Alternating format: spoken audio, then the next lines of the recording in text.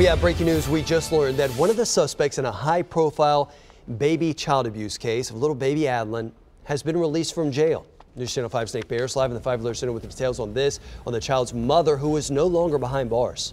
Uh, well, that's exactly right. Just learned this information overnight. Uh, both of Adeline's parents, as a matter of fact, had been locked up since late January, but her mother, right here, Brooklyn Tidwell, we learned released overnight. Why?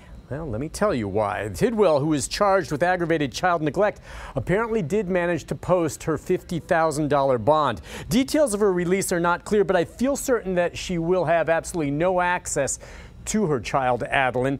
Both Tidwell and Adeline's father, Michael Fisher, are charged in this case. The then three-month-old Adeline nearly died after she was found with broken bones, internal bleeding, and swelling on the brain. Again, that was back in January. Now, as many of you know, these pictures just released yesterday of her winning a beauty pageant. The child has made an amazing recovery, was released from the hospital a couple of weeks ago, and she's in the care right now of other family members. Again, Tidwell, her mother, still faces aggravated child neglect charges but will not be behind bars, at least not for now. Fisher, the father, remains locked up on $500,000 bond and is charged with attempted murder, attempted homicide. We'll send it back to you in the studio.